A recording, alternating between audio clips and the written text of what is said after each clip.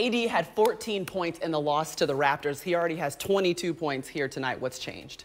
Awesome to see a great player bounce back, and his aggression was key. Going after offensive rebounds, getting out in transition, scoring on the post he was really doing a great job of showing his versatility. As you see right there, the follow up after KCP missed. And when you got Rudy Gobert on you, nice little face up, take his time, mm. measure him up, knock it down. But the Lakers are going to need somebody else to join the party besides he and LeBron if they're going to get it done today. Already his 20th game this season with at least 20 points at the half. AD is making it happen. Ooh, he's getting out. The big man got a steal, running gun with him. Get up, big fella second half coming. Last time that I checked. Welcome to Studio One here in New York City. Maria Taylor alongside Jalen Rose. Right now, the Lakers up just two on the Jazz. But guess what, Jalen? The Spurs are trying to play their way into the go, eighth spot. We were Spurs, go. about them, all right? The 76ers had a 12-point lead going into the fourth. The score right now is 121 to 118. See, here's how it works. The Grizzlies, the Pelicans, and the Kings, they have young bucks. Mm -hmm. The Portland Trail Blazers and the Spurs, they have seasoned vets. And trust ah. me, they want to get those playoff checks and that opportunity to play in the postseason. They're making it happen right now. DeMar DeRozan has 20 points so far. You see it now, 119 to 121. Raptors, the defending champion, Fred VanVleet, 36 points, a career high. It was great to see him get going for three-point range. And the Raptors are so very deep offensively. Mm -hmm. Each player sometimes takes their night. Kyle Lowry's had his. Pascal Siakam has been a constant force. TJ, we tried to warn you. Okay, coming off that 53-point Friday night, Saturday, 34 points and 11 boards in a win over the Wizards.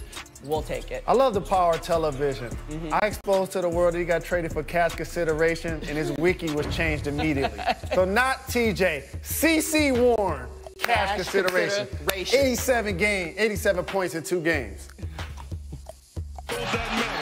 Welcome back to NBA Countdown, presented by Mountain Dew.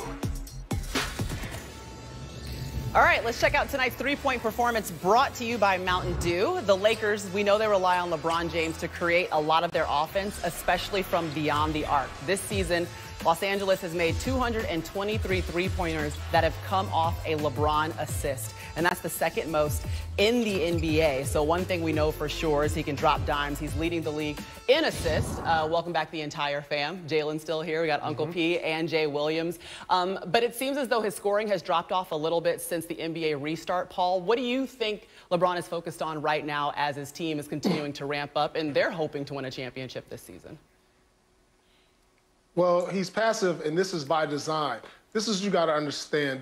LeBron has the highest IQ in the game. So look, you're gonna have expanded roles from guys like Alex Caruso, Caruso, Kuzma, Dion Waiters, J.R. Smith, with the absence of Rajon Rondo, Avery Bradley. He wants to see who he can trust out here going into the playoffs. And that's why you're seeing a LeBron James being so passive. He knows he has to be an aggressive once playoffs start. I mean, the Lakers are undefeated when he goes for 30 or more. So he's trying to see what he got in these last few games before the playoffs break. But I'm not worried about LeBron one bit.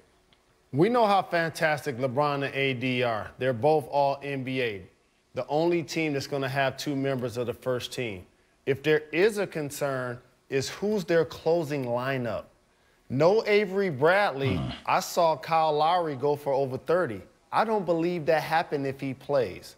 Their closing lineup that's been most frequent this year has only played 15 minutes together. 15 minutes! We know Bron and, Bron and AD are in that lineup. The other three, KCP, Caruso, and Dwight Howard.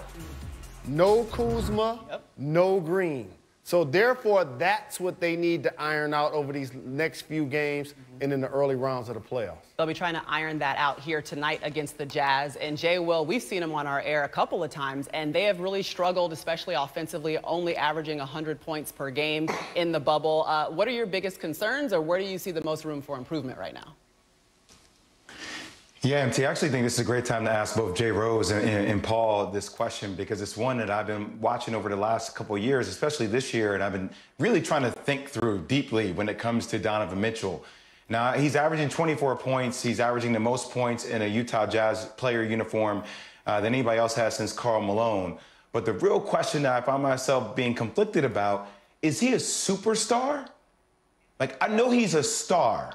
I know he's a really good player, but is he like a super superstar that we believe can take Utah to winning a world championship? Because at the beginning of the year, a lot of people I know they lost Bogey, and that's a huge loss to them from outside shooting perspective. And Jay Rose, I go to you first. Like, do, do you think Donovan Mitchell has the potential to be that guy to take Utah there, or will he just be a star? I think he has all star potential, potential all NBA performer if he's on a great team. But here's what I'll say about his future in Utah. When I look at the 2017 draft, the other max caliber players are Jayson Tatum and Bam Adebayo. I see their futures with those teams. I don't necessarily see that with Donovan Mitchell in Utah. So, Jay, to answer your question, don't be surprised if when it's time for all, those other guys to get extensions, that he doesn't sign one. I don't know if he's there long term to mm. be their mm. best player. Mm, right now, though, Donovan Mitchell uh, averaging a career high with Utah. Go ahead, Paul. Mm. Man, listen, is he a superstar? Yes. By the criteria of this league, there's a lot of superstars in this league. But can he be the best player on a championship team? I think is the question you want to answer. So um, I'm not so sure. I think you have to be at least six, six and up. Just my opinion. But Donovan Mitchell is no question a superstar in this league. No question a superstar, no question an all-star. And coming up, we've got two Rookie of the Year candidates, and they're superstars and they're a part of something way bigger. James Baldwin once said, Not everything that is faced can be changed, but nothing can be changed until it is faced. And that's certainly what these players are doing. You can see that the social justice messages that are on their jerseys now are still in existence. On the top, you see a message. On the bottom, you see their names. The Miami Heat taking on the Raptors. And well, Jalen, you've been talking about the Raptors, so I would like to move out of the way and just let you go on in on why we should all know their name. As they follow the lead of the WNBA, who had their message and Breonna Taylor's name on their jerseys as well, as you see them get out in transition, pile to Pascal Siakam with the lob. And how about this? At 30 NBA teams, one black owner, Michael Jordan. He just only is the greatest basketball player of all time. Mm-hmm. One black president, Masai Ujiri of the Toronto Raptors. Oh, what a coincidence. The defending world champion. Enough said. Drop spin. Raptors get the win right there, 107 to 103. And the Raptors are on a six game winning streak. And obviously, the games that are being played are in a bubble. Um, and that can be tough, Jalen. But what we know for sure is we've seen a lot of good content. There's a Twitter handle called the NBA Bubble Life. So they must be doing something right. Take a look at what the players have been doing to stay entertained.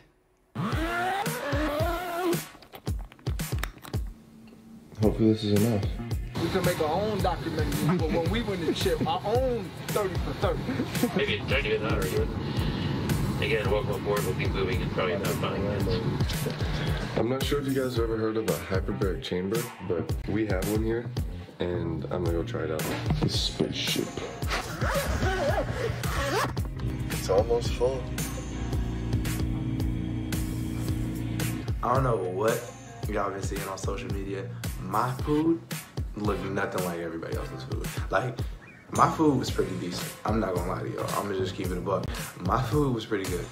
Got some care packages. I love getting packages, man. Getting packages at the bar was the best thing ever, man. Finally got my golf club in, man. We got the heat.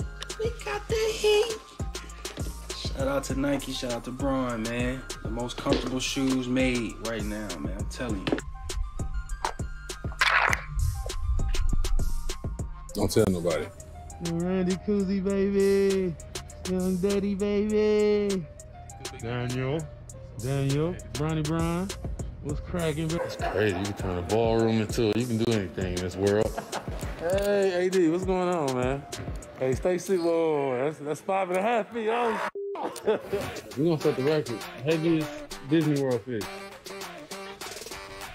Ah, they alive, alive. Oh, my goodness. Fish. Just take a bite. I'm gonna throw you back. I promise. I ain't gonna eat you. I ain't gonna put you on Kuz's panini maker. The fish got my worm without the hook. we find out the fish smarter than the fisher, we can catch a damn thing. I didn't see no fish. Jalen, do you fish? I have never been fishing. Me neither, and we ain't doing it anytime soon. we will be here on Wednesday. NBA Countdown will get you set for our doubleheader, and it will be the Thunder taking on the Lakers at 6:30, and then your nightcap will be the Nets taking on the Celtics. Jayson Tatum still has a haircut, so I promise he's going to get buckets. NBA Countdown will come your way at 6 o'clock on Wednesday. ESPN and the ESPN app. All right, the Lakers are a part of our nightcap tonight. LeBron and AD power the Lakers' chances this